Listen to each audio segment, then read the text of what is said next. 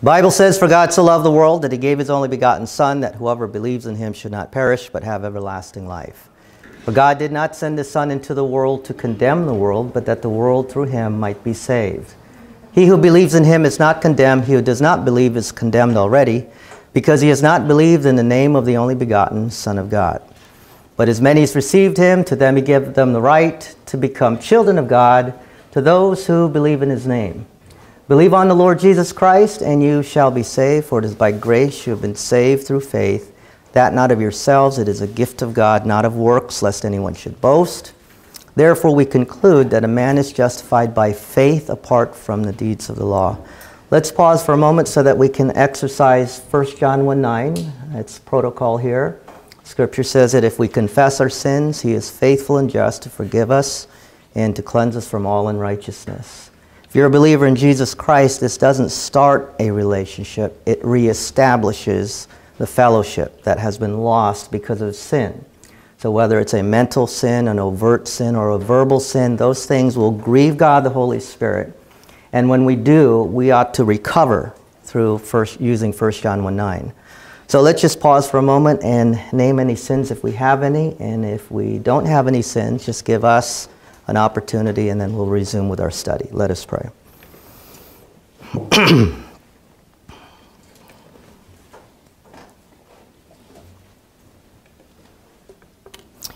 Father, thank you, as always, for giving us the opportunity to assemble together as believers in Christ. We know that the scripture says to not forsake the assembling of saints.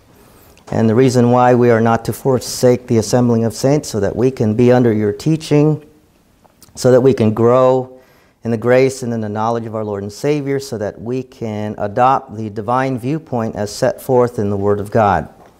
We are um, living in a time where there are so many philosophies and viewpoints that go contrary to your word, and unless we are anchored in your word, it's possible that we might be swayed by the, the varying uh, influences and thoughts that are out there that go contrary to the word of God. And so, Father, we make it a point to assemble together whenever we can, whether it's on a Sunday afternoon or during the week when we conduct our Bible classes. We pray now, Father, that you would help us to concentrate on the material that we are covering. And we ask and pray these things in Christ's name. Amen. All right, we are on increment 11. And if you don't have a book, one of our deacons will um, hand you a copy of the book. and we're um, on this series on the barrier, what it had cost God, and why we're able to have this harmonious relationship with God. And there are a host of doctrines that we're going to go through in this little booklet. So don't let the um, the booklet itself uh, hint or, or communicate that it's not a a uh, in-depth treatment to these doctrines. It's actu- it actually is. And so this is the reason why we're going through it together. Now, we left off on page 22, but I want us to just look at the bottom so that we can kind of resume the flow of what we have covered thus far. And remember in Romans 4 5, very powerful verse that reminds us that it's not based on what we do um, that gets us saved. You know, a lot of, a lot of people today are concerned that if they sin two or three times or they repeat the same sin over and over and over, uh, they're not saved. Or their friends will look at you or look at me or look at them and say, see, look, if they're truly a Christian, then they won't live like that. You can tell by their fruit. The problem is, is that the scripture is replete that the external does not accurately determine what takes place or what took place in the internal. Remember Matthew 7, there was a lot of people who were boasting basically in their works. Lord, Lord, did we not do these signs and wonders and cast out demons? And Jesus said, Yeah, but I don't know who you are. Depart from me. So it's the works itself does not prove that one is saved. Works are not the determining factor for salvation or whether one is born again or whether one is a child of God. It has nothing to do with your external actions or your behavior. Now, should we live consistent to, with God's Word? Of course. But whether you live in a way that's um, consistent with God and His Word does not determine whether, whether or not you've had uh, a regeneration take place on the inside. So, just like your birth, how many times did you get born? One. One time. Now, how you behave after that is totally up to you. Your parents, I'm sure, were very uh, discouraged and upset when you were growing up. You know, look at you, you don't even, you don't behave yourself and those kind of things. Remember that? But they never question whether or not you're a true son or daughter of theirs, right?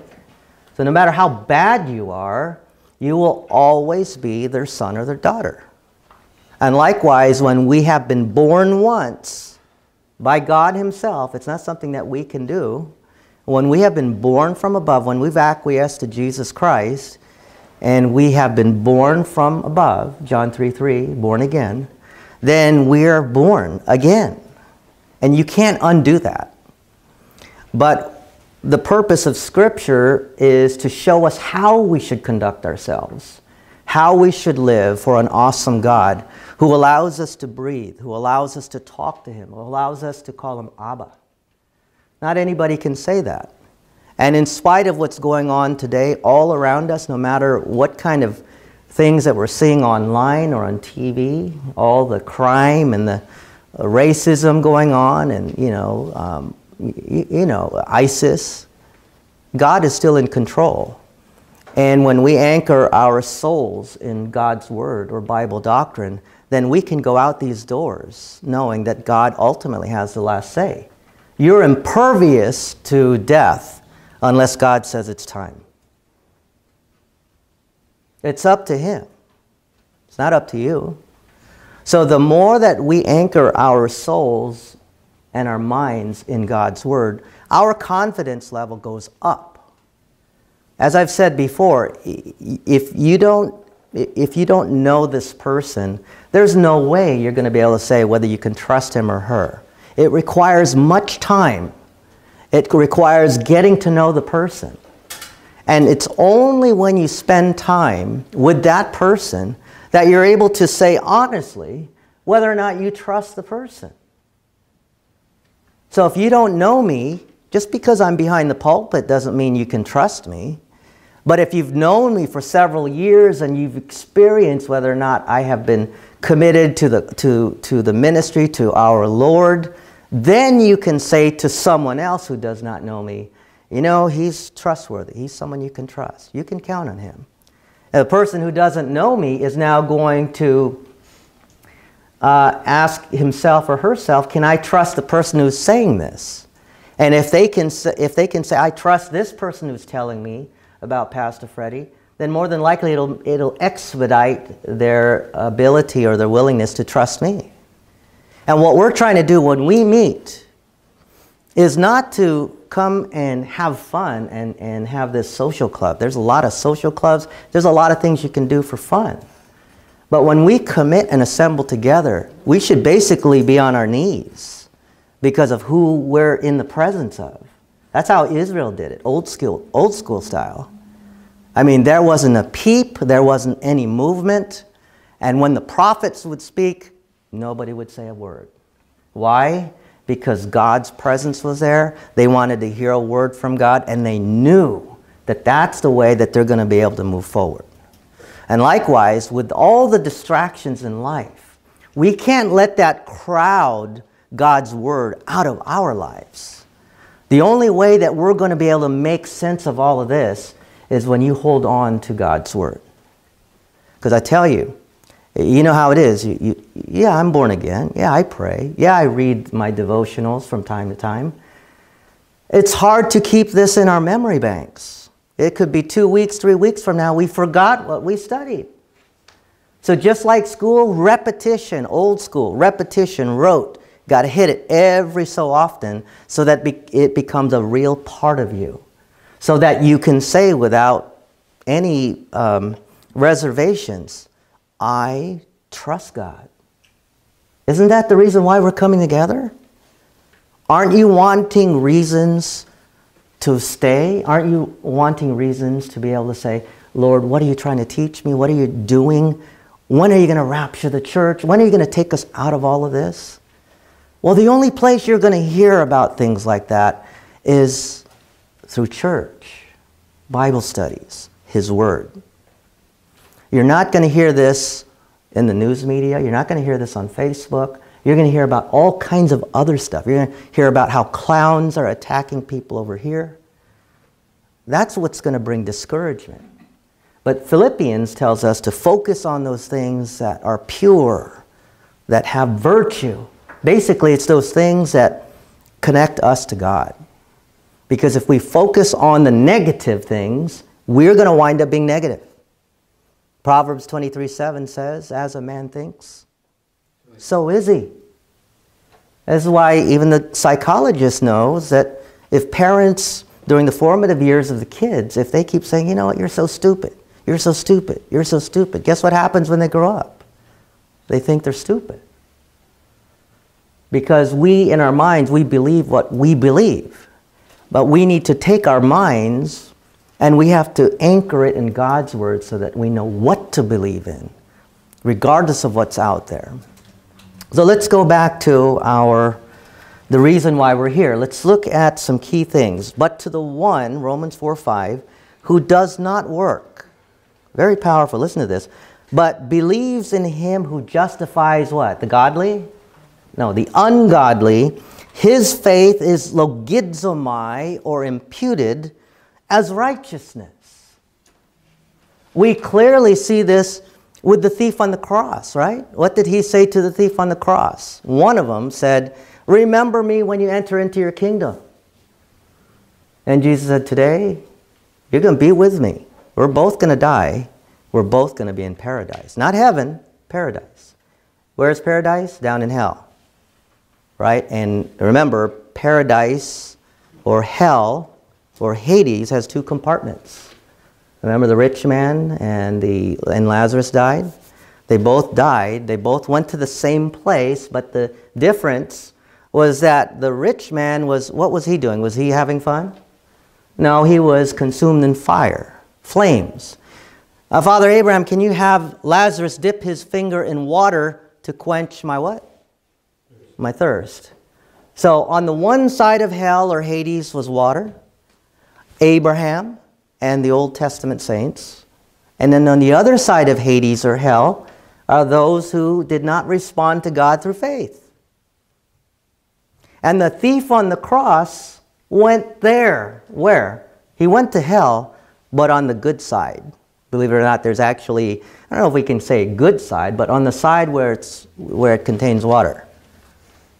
No one could precede Jesus Christ. Once Jesus Christ had finished his work on the cross, he would take the Old Testament saints, take them to heaven. Now, the current, in this current dispensation, to be absent from the body, to be present with the Lord. So if we die today, if I die today, where am I going to be? My body's going to go in the tomb, but I go up. See? So, logizomai and what's required for this imputed righteousness? Faith. The simplicity of being saved is found in one word, faith. Or in John, it's predominantly believe. 99 times, believe. Believe in Jesus.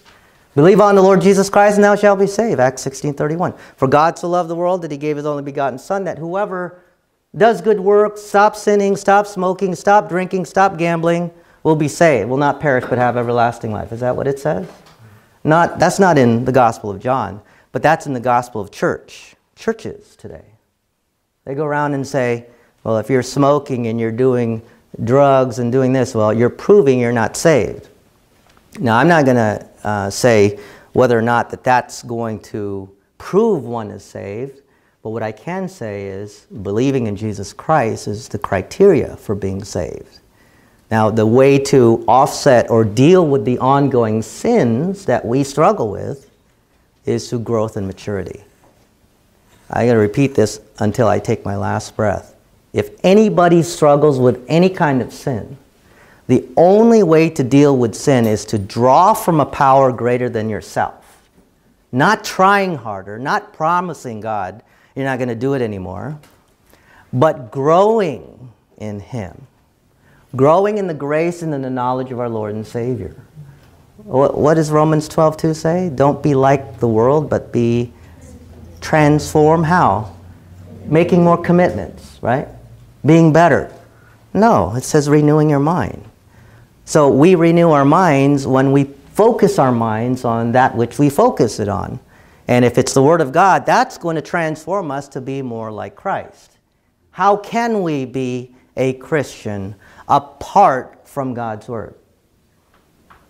If you can show me how we can be Christians apart from a regular intake of God's Word in a way that would be glorifying and pleasing to Him, I'd like to see that. Because to me, Jesus was clear, man should not live by man shall not live by bread alone, but by every word that proceeds out of the mouth of God. And as he was saying that, who was he talking to? The greatest adversary in the world. The devil himself. And he whipped the devil not because he used his divine power as the Son of God. He didn't do anything except say, It is written. And every sin, every temptation had a verse that would squash it. That's why I've said before you, don't just say, I'm going to pray, I'm going to pray more. It, maybe it's not um, something that you have to pray about. Maybe it's something that you have to apply. Maybe it's a promise that you have to make application to. And you will not be able to apply uh, that, per, that verse or that passage unless you first study it and familiarize yourself. And then it boils down to is he worth it? Is he worth getting to know more on an ongoing basis? And I would say the answer is yes. Because with all the stuff that we're seeing now, watch what happens in 2017 it's only going to get worse. It, our, we're not going to see improvement. The only time we're going to be able to hold back all the stuff that we're seeing in a small way is when the local churches make application to the Word of God. And what does that look like? What are we talking about? Well, evangelizing, introducing them to Jesus Christ. So that 50 people who are unregenerate or not born again, if they all believe in Jesus Christ, now we have 50 people who are now a part of the family of God, who are now a part of the church, who now has access to a power greater than themselves. And they can do things that they never could do before because they did not have access to God Himself. So we need solution, the solution to our world's problem, not our country, our world, is Jesus Christ. The greatest dilemma and problem for the world is hell or the lake of fire. And that has been dealt with 2,000 years ago. So let's go back to the bottom of 21. So the Greek word logizomai means to impute or credit something to someone's account. Top of 22. To put on the credit side of the ledger, expiation, more on expiation, we covered this on page 7, is basically the canceling out of the sin debt. Expiation takes us out of the red while imputation puts us in the black. So just because you don't sin anymore, that doesn't improve your relationship with God. We need, you need, they need, the world needs an imputation that comes um, from God Himself. And that imputation that I'm referring to is the righteousness of God. The reason why we have a relationship with God, sure, we're born again. Yes, we are believers in Jesus Christ. We've been born from above. But it's His righteousness that allows us to have this ongoing relationship with God. God does not look at sin, but positionally speaking, we are perfect. Experientially, we fall short. Remember what I've said before?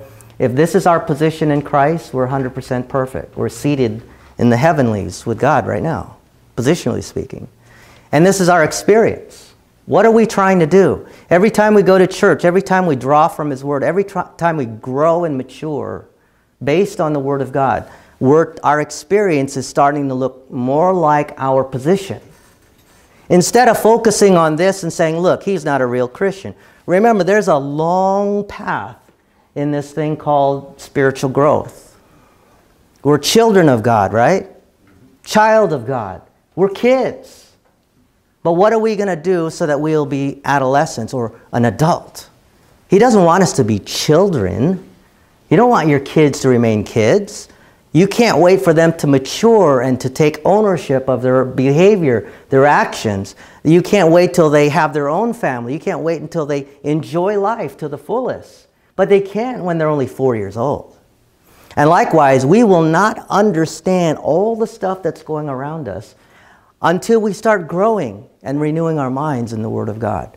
Growth is just simply the byproduct of a consistent intake of spiritual food. You eat every day. I guarantee you guys eat every day. Three times a week, uh, three times a day, maybe more. But how often do you eat as far as spiritual food?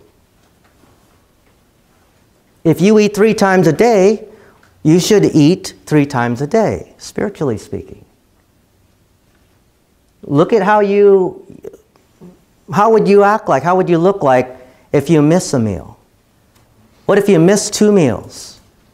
What if you don't eat for an entire day? Is that a time to hang out with your spouse? Is that a time to hang out with your friends?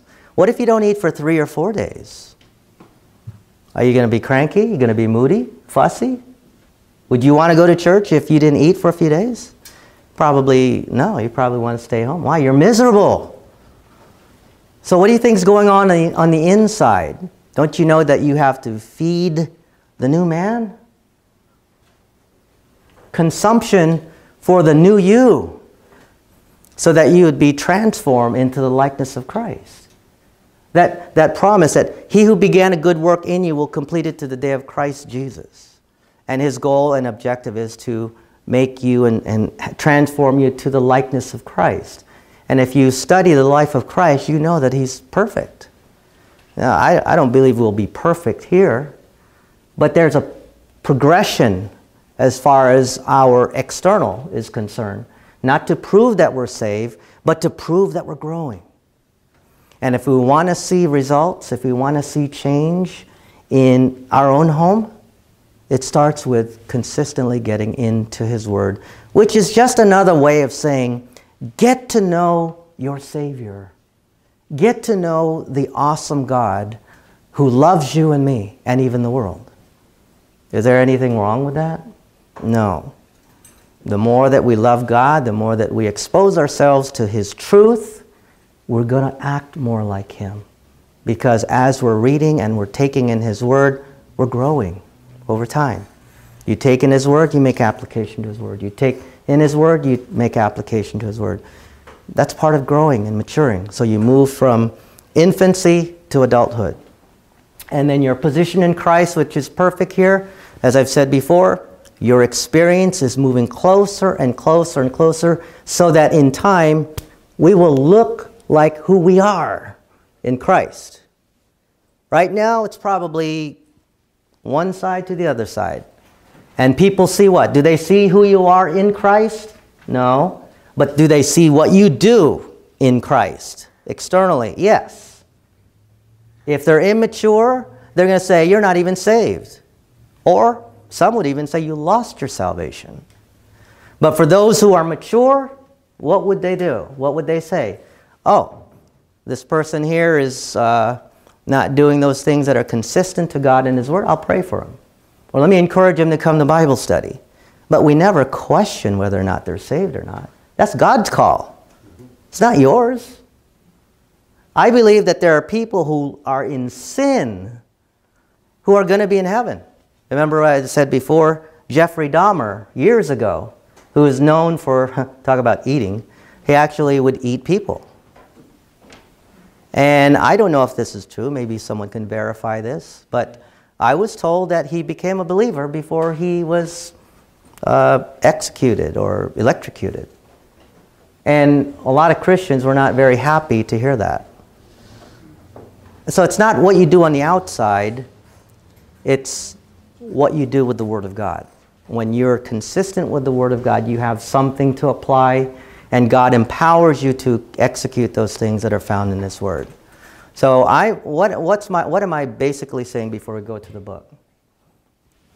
Any struggles that we have, whatever it is, can be met with growth and maturity. And the only way that we're going to grow and mature is through a regular and a consistent intake of His Word and the exhale or the application of His Word. Not just hearers only, but doers of God's Word. Notice the top of 20, um, the top of 22. We do not earn or deserve salvation. Do you guys agree with that? We, we don't deserve it. We don't deserve uh, salvation. We cannot work for salvation. The work of Christ on the cross debits from our account our relative righteousness and credits to our account what? His perfect righteousness. So the reason why we can have this relationship, the reason why we're even saved, is because his righteousness has been credited into our account. To me, that's, that's profound. We're just creatures, and the Creator Himself said, I want to have this ongoing relationship with these people who fall short of my glory. How are we going to do this? Hmm. Tell you what, whoever believes in my Son, Jesus Christ, will be saved. Is God asking a lot? It's a one time transaction. And this is the reason why, after that transaction, our objective has got to be to honor Him. How do we honor him? The only way we're going to be able to honor him in a way that's pleasing to him, not according to our definition, is to know what he said. You can't go wrong knowing God. You can't know, go wrong knowing what his word says. Yeah, but you're too into the Bible. Why can't you do other things aside from the Bible? We do In fact, I believe we're one of the only churches in, the, in California that really knows how to enjoy ourselves. Not only do we roll up our sleeves when it's time to roll up sleeves, but boy, we really know how to have fun. We really know how to enjoy each other, and the relationships between the brethren are deep. And how do I know this? Because I'm saying it? No, because I've heard several of you say this. And it's not common to hear people say, I love my church. And I love the brother. I can't believe I know this person now. And what's bringing everybody together? God. You can thank God for the deep relationships that you're experiencing. If it were not for God, we wouldn't be here. We wouldn't go on a retreat. We wouldn't do things together. We would be doing our own thing, making more money, resting, doing this, doing that, studying. None, none of that is wrong, none of that is a sin. But how we thrive and move in this life has got to be under His direct influence. And the way that we're going to be under His direct influence is to know Him more. Is to know Him more. Look at, look at what it says here 1 Corinthians 1.30. But by His doing, you are what? You're in Christ. Now that's a, that's a hard term to grasp and to wrap around. What does it mean to be in Christ? Well, when you study the scriptures, you'll find Paul using the word in Christ, in Christ, in Him. And the great theologians of the past and even today have taught us that this is our who we are as far as our relationship with Christ. The moment you have been born from above, you're in Him, He's in you. You abide in Him, He abides in you. You abide in His Word, His Word abides in you. So it's a relational term on an in depth level. Not everybody can say he's in Christ or she's in Christ. The people in Matthew 7 thought they were. But Jesus said, mm, I don't know you. They got busy with things, but they missed the key component to a relationship to Him. They were not in Christ, they were into themselves. They were religious. but without a relationship. By his doing, but by his doing, you are in Christ Jesus, who became to us wisdom from God and righteousness and sanctification and redemption. 1 corinthians 1.30 all of that to say is that we have been uh, we've acquired righteousness we have been sanctified or set apart and we have been redeemed not because of our own efforts but because of his which allowed you and me to be in christ when you think about what he has done and accomplished, it should stimulate you to be thankful what you currently have. It should allow you to look at your problems from a different perspective. What if you're not in Christ? Let's just pause for a second. What if this doesn't apply to you? What if you're sitting here now or listening online and you are not in Christ? You're headed for big, big trouble. You take any troubles that you have now, no matter how bad it is, that's nothing to be compared to the glory that you will receive when you meet Him face to face. Sure, we have problems. Sure, we have difficulties and challenges in life. But you're not alone. You have God. You can pray. You have a local assembly, a local church that can pray on your behalf, just like we prayed for Karen and Steve and Mick. Who else is going to think about you when you're not here? Unless you have brethren that care, who understand the importance of Bible doctrine and making application to that doctrine. But if you're in church, basically content with Jesus loves me, this I know, for the Bible tells me so, you're going to remain in infancy. You're not going to know what logizomai is, and you won't even know what that means as far as your relationship with God is concerned. I don't want to learn Greek. I don't want to know what logizomai means. You don't have to. The English word is imputed. Why is that a big deal? Because that's what God had done on your behalf. Without logizomai, you're going to hell.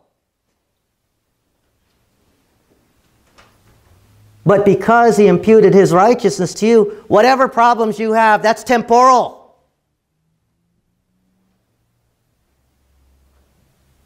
You and I are rich. You and I are the only ones that have been told, I need to leave. Let not your hearts be troubled. In my Father's house are many mansions, and I'm going to prepare a place for you. How many of you own a mansion here? Anybody? You do now. You do at the moment of faith. Who, who is saying that? Jesus Christ.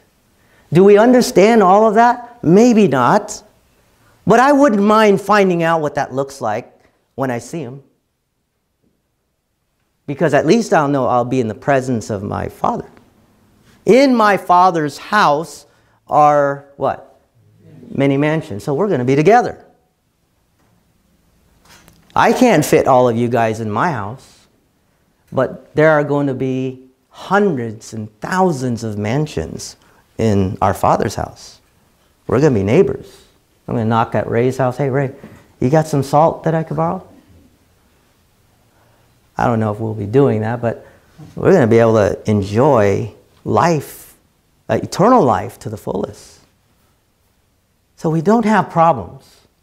We should not even stress because the scripture tells us be anxious for nothing. That's an imperative in, in the scripture. That's a command. Don't worry.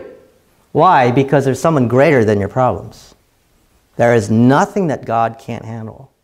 The only thing that's stopping God from intervening is you. Do you trust Him? You can't expect, according to James 1, you can't expect anything if you're being tossed to and fro. If you're going to trust Him, trust Him. Don't waver. Just say, Lord, you know, you know my situation. I'm going to entrust all of this to you. Sometimes he says yes, sometimes he says no, sometimes he allows you to wait. Whatever the case may be, you're his responsibility. Do you agree with that? He's your father. He's going to take care of you. Our earthly fathers know how to take care of us. What more, our heavenly father? So we can take that to the bank and recognize that God is got our back. He's going to take care of us. But the only reason why we stress is if we don't have enough God. The only reason why we stress is we don't know what He says. We don't know what He promised. And as I've said before, too many Christians are praying about stuff that they should not even be praying about because the scripture tells us one way or the other do this, do that, trust me, trust, and trust that I'm going to work things out.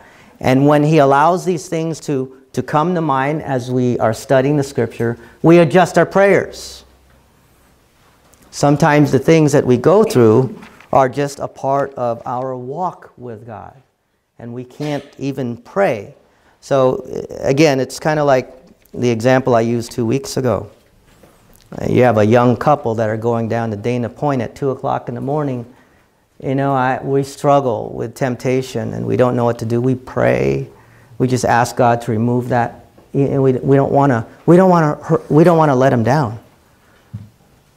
That's not a time to pray. The scripture doesn't say pray that you won't be tempted. The scripture says flee. That's the reason why I said that our prayers will be adjusted as we know His Word. So instead of praying, don't let me be tempted because, you know, we're just holding hands, we just care for each other. It's 2 o'clock in the morning and we just, we want to pray to you, Lord. That's not the way to deal with it. If that's an area of weakness, flee. Stop. Move. Run. Turn it off. Disconnect. He doesn't want you to pray for that. That's, what, that's my point. You find the scripture, you find what matches what you're doing, make application to it. Trust in Him and make adjustments, of, I'm sure. I'm not just saying, you know, you apply this and uh, it's automatically going to rescue you. No, there's, there's uh, other factors to consider. Where are you spiritually? Are you uh, mature, immature, young in the faith, mature in the faith? A number of things. And we, we'll look at that maybe in uh, the future. So look at what it says here, top of 20. So uh, the moral unbeliever may be depending on his relative righteousness to please God and earn his way into heaven. He may not think he needs Jesus Christ as a substitute for his, for his sins because he believes he is a good person. Don't we hear that from time to time? You talk to your friends and say, hey, uh, if you talk to your friend, uh, you know, I'm, I'm actually um, a good person. If, if there is a God and you're right, I hope God will take my good deeds and hopefully they'll outweigh my bad deeds. Because I'm not really a bad person. You heard people say that? Well, it's, it's not about um, their behavior. Um, it's not about being good. It's about being perfect in Christ. It's about receiving that it's about uh, the righteousness of God being imputed to you so that you can be perfect in Christ. So that two seconds later, after you receive his righteousness, now you can do things that could please God.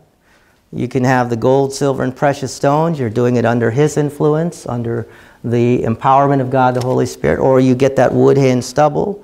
Maybe you didn't have the right motives behind it. But we're rewarded based on what we do.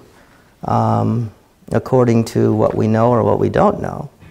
So uh, then there's the conspicuously sinful, immoral unbeliever. He may be promiscuous or unethical. Perhaps he's a conniver, a liar, a derelict, a drunkard, a drug addict, or a criminal.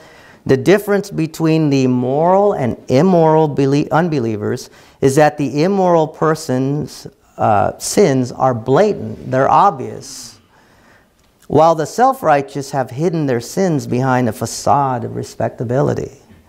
Yet, by human standards of comparison, the moral unbeliever is better than the immoral unbeliever. What's he saying there? He says, within the unbelieving uh, people, you've got some who are immoral and some who are moral, right? You guys know people who are unbelievers that are um, very good at what they do. They're very upright, they're moral, they're ethical, and they put a lot of Christians to shame based on their behavior, choice of words, how they conduct themselves. Very punctual, very honest, right? You know people like that? Then you have those guys that are just shooting people, cussing up a storm, stealing, vandalizing. Uh, those are the immoral unbelievers. You got both are unbelievers, but one lives in a way that's, that goes contrary to all the things that are found in Scripture, while, whereas the other person lives consistent with Scripture.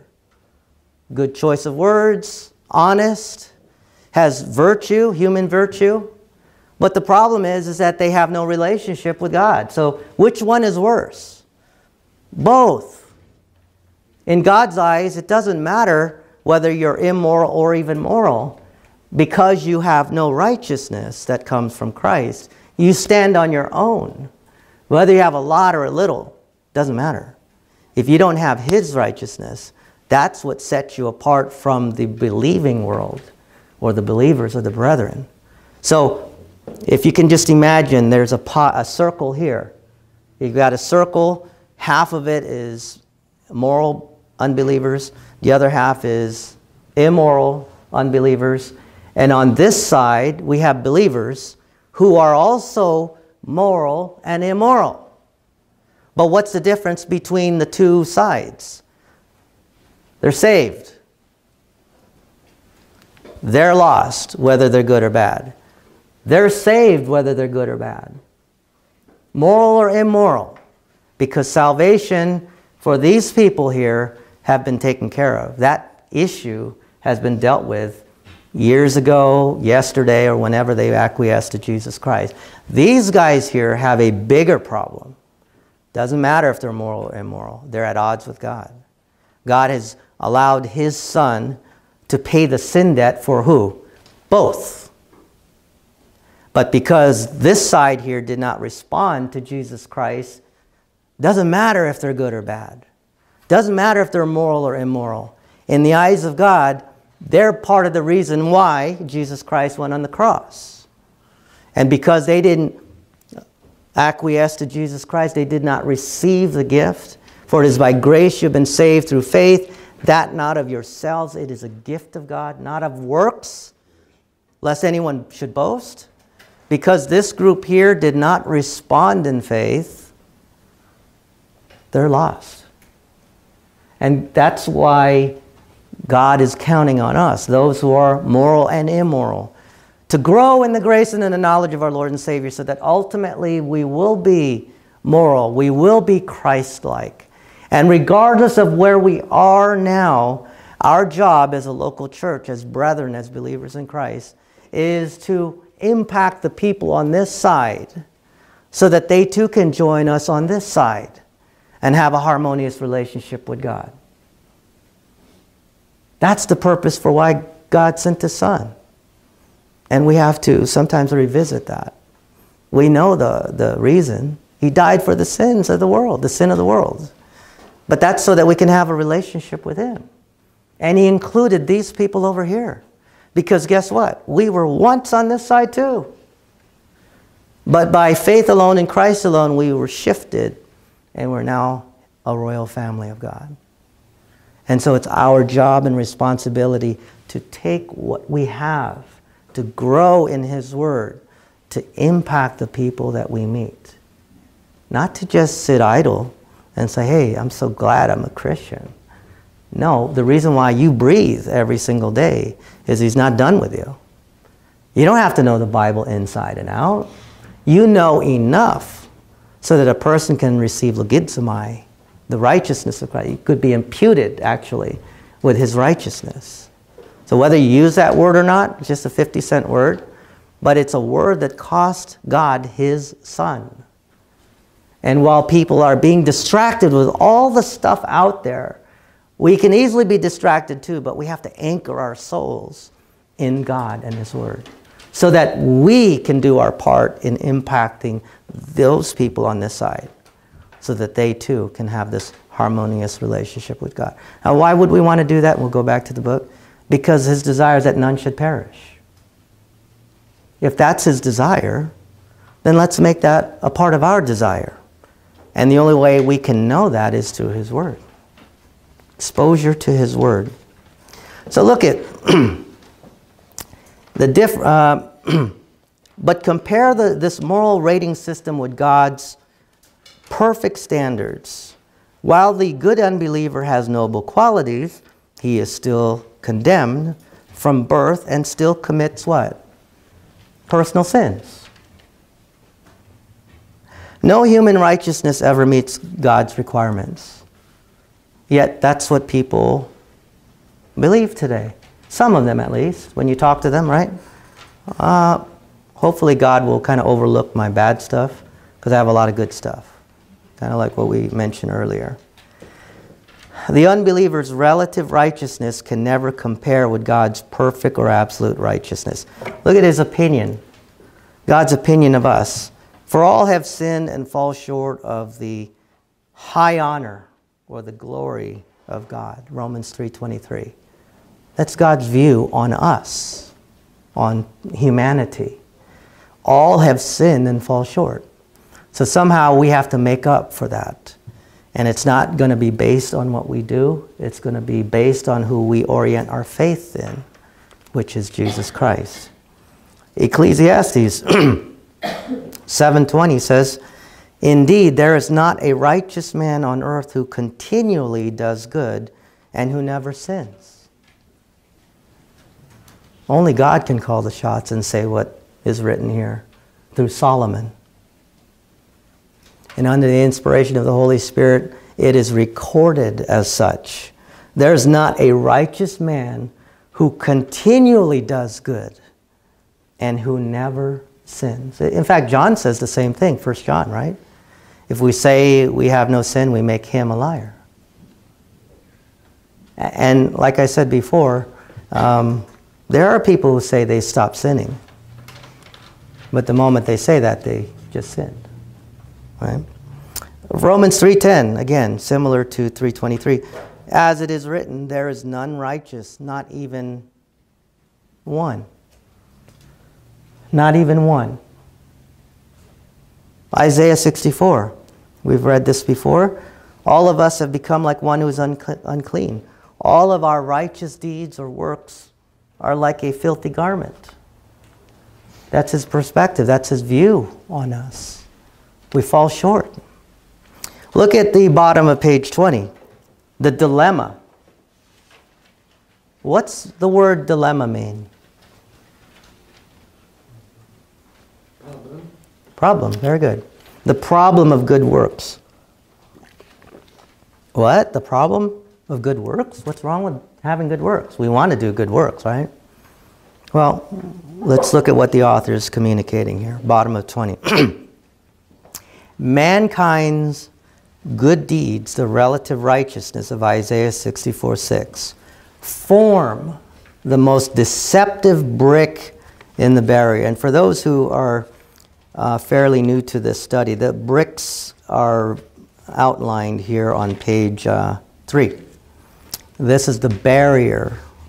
Uh, there are six layers, six barriers. So if you have time, I would encourage you to look at three so that this will make better sense. So, uh, mankind's good deeds or good works form the most deceptive brick in the barrier. Good works often lead to the same legalistic and sanctimonious illusions Nicodemus had about himself. Uh, some of these include I'm going to heaven because I deserve to go to heaven. Um, I am going to heaven because I have lived a good life. Uh, I am going to heaven because I have been religious. Those are all wrong. They all fall, fall short. This is man trying to give reasons why he thinks or she thinks he's saved. That doesn't make you saved. You bow the knee to what God says, not to what you think. But all the good deeds in the world only add up to relative righteousness. Um, it's an incomplete type of righteousness, and it's a righteousness that can only be fulfilled through Jesus Christ. And when we acquire his righteousness through faith, then uh, we are in essence uh, uh, perfect in, in his eyes, in Christ. God's perfect righteousness can have nothing to do with man's relative righteousness. Top of 21. Oh. Am I, have I been reading the wrong page? I went backwards. Hmm. Wow. All this time I, I'm, I'm thinking like, I hope they're getting this, and here I am. I'm on the wrong page. Sorry for those online. okay, so now let's go to the right page. Um, let's go to 22. Sorry about that. I hope maybe that was part of the plan, just to show you all that I fall short. Well, this pursuit of righteousness, what shall we say then? That Gentiles who did not pursue righteousness attain righteousness, even the righteousness which is by faith. I want you to look at the force of this verse. Okay? The Gentiles, I'm going to move things around a little bit just to show you what it's saying. The Gentiles attained righteousness, even righteousness, through faith.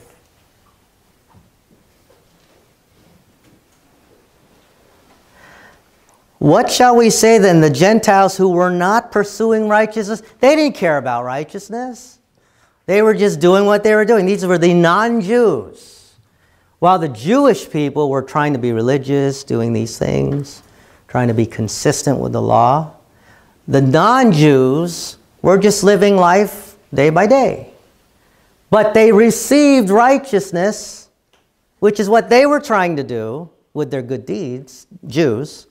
But these Gentiles who weren't even trying, they received the righteousness that the Jewish people were striving for. Oh my gosh, look at this. How did the non Jews get righteousness?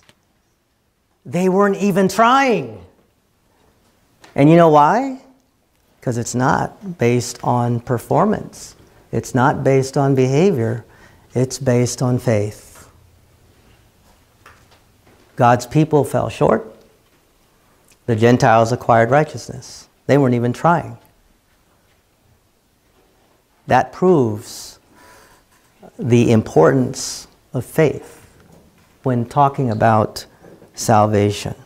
Countless Gentiles were, both, uh, sa- were saved in both Old and New Testament times.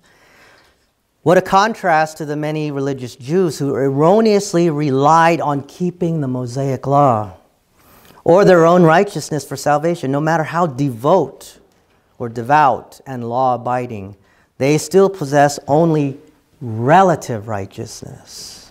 Many Gentiles, ignorant of the law, they didn't even know the commands of God, did not pursue righteousness like these religious Jews, yet they attained, they received, they got the righteousness, God's righteousness. How?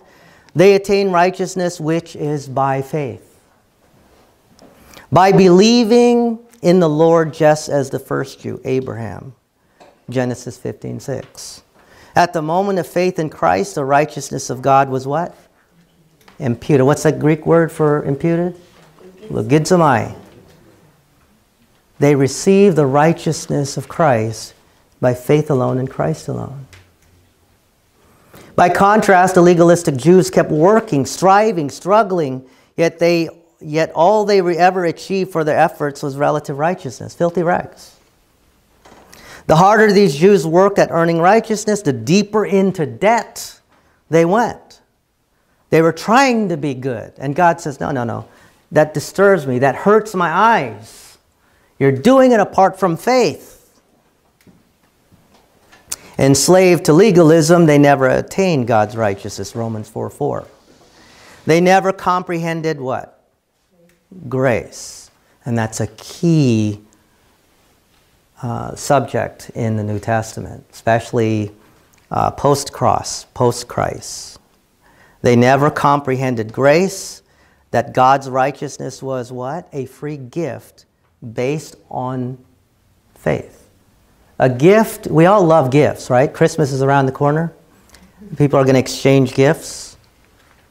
And when the giver gives you a gift, they're not expecting anything in return because that's from their heart. They're desiring to give you something, and whatever that gift is, is based on how that person feels towards you. So does, I'm not in any way saying if you get a small gift, then that person thinks in a small way about you. I'm just saying that the giver is ultimately responsible for the gift that he or she gives. God gave us a gift. And He didn't just give us um, what we have our cars, our jobs, our health. He gave us something that goes into all eternity. He gave us His Son. You think Abraham did a fantastic job with offering up his son Isaac? Imagine God Himself offering His Son. That's the imagery there, right? But God didn't even allow Abraham to offer up his own son. He was just testing him. Let me see if he's going to trust me. Is, is Abraham going to trust me?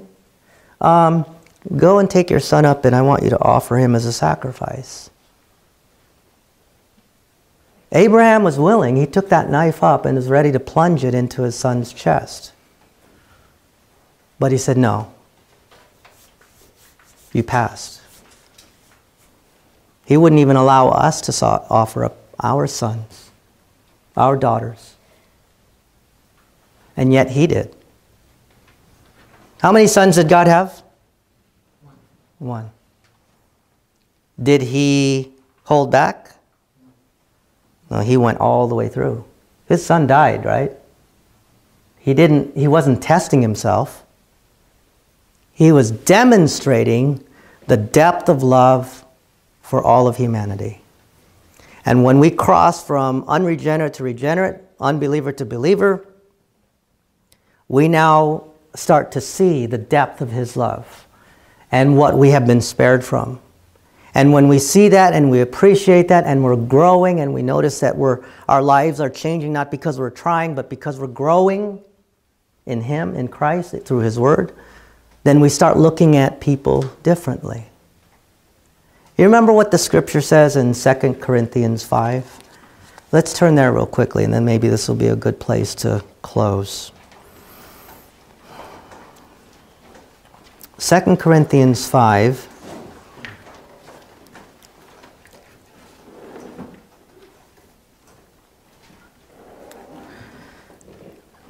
It's usually used to talk about um, why we should live differently. Uh, I'm sorry, 2 Corinthians 5.17.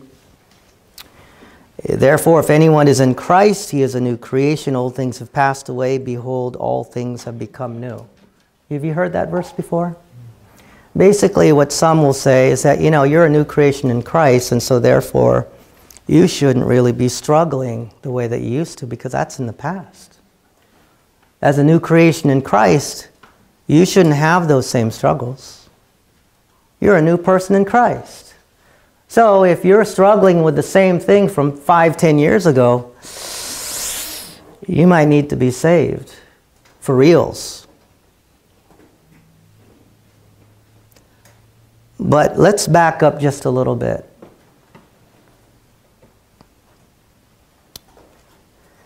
Verse 14 For the love of God or the love of Christ compels us because we judge thus he died, oh, that, I'm sorry, that if one died for all, then all died.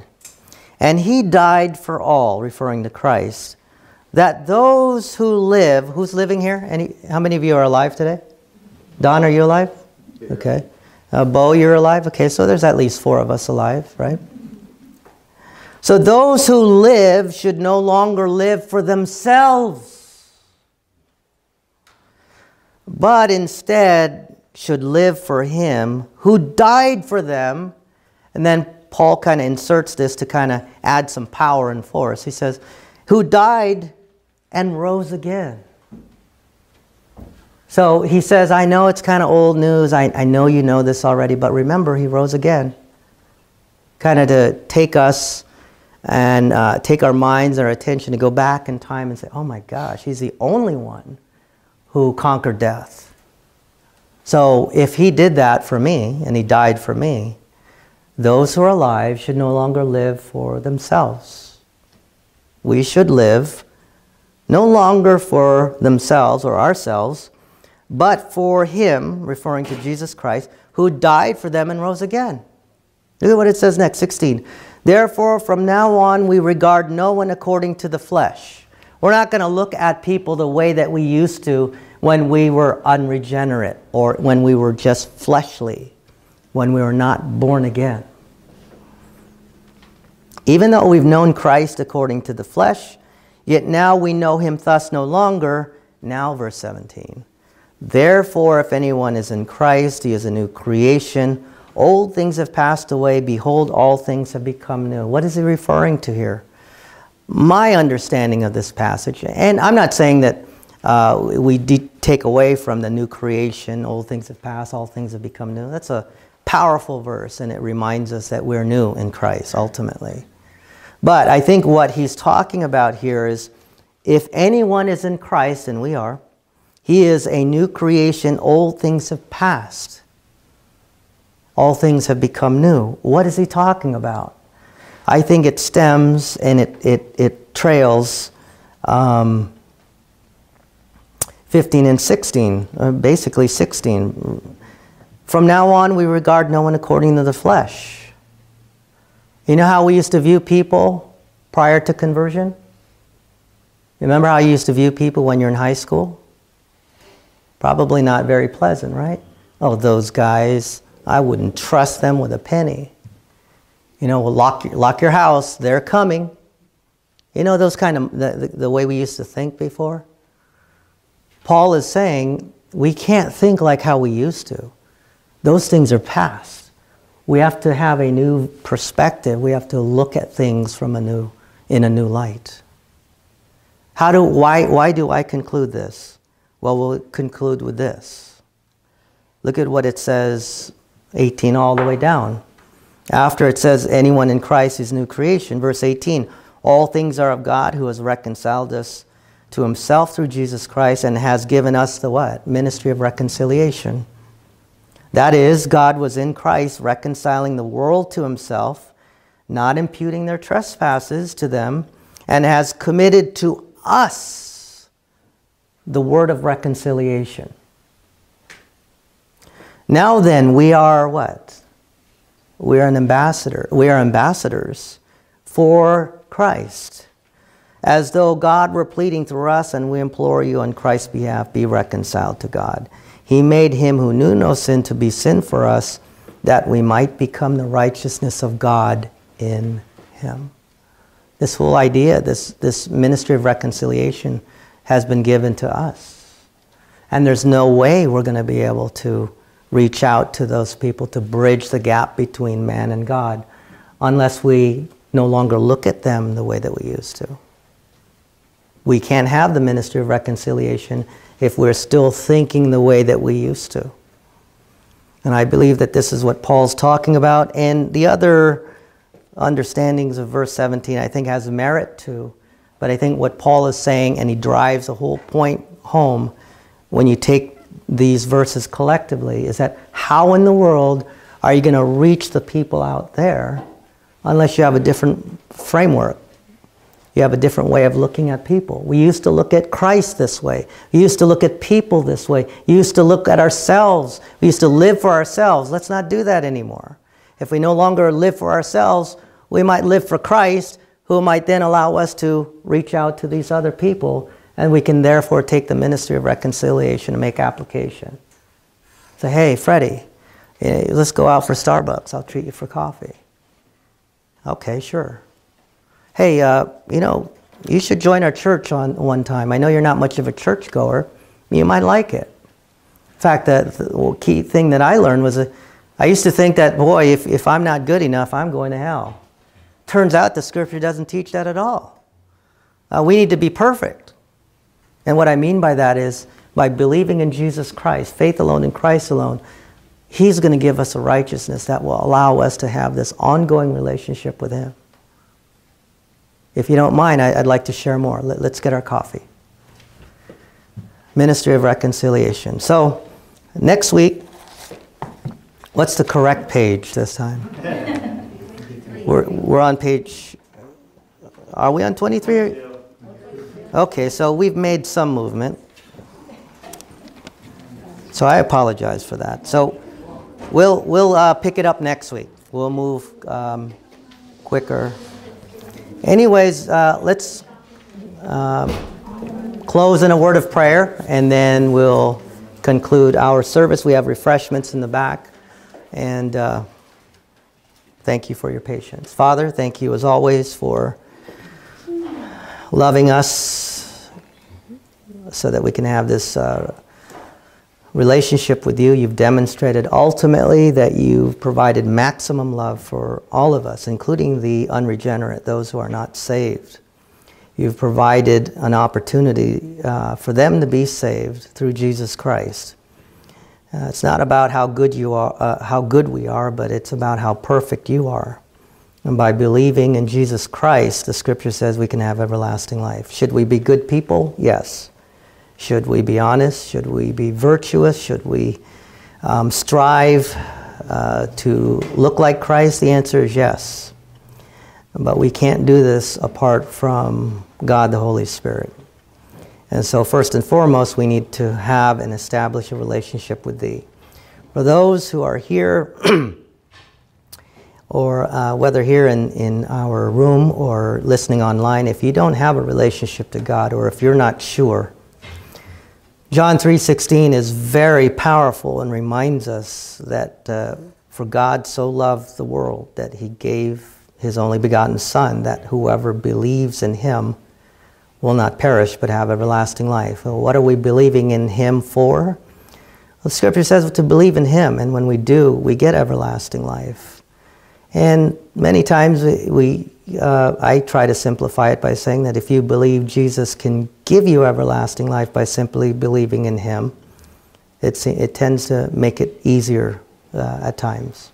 So if you're not sure where you stand, you can believe in Jesus Christ for everlasting life, and I believe He'll honor His promise. He's faithful, He's trustworthy, and the more that we uh, get into the Word of God, we discover that He truly is someone that we can and trust uh, our families, our problems, our challenges, and even our lives to Him because He is sovereign, He controls all things. Thank you, Father, for this opportunity. We ask that you would bless the food and the fellowship that will transpire. We ask and pray these things in Christ's name. Amen.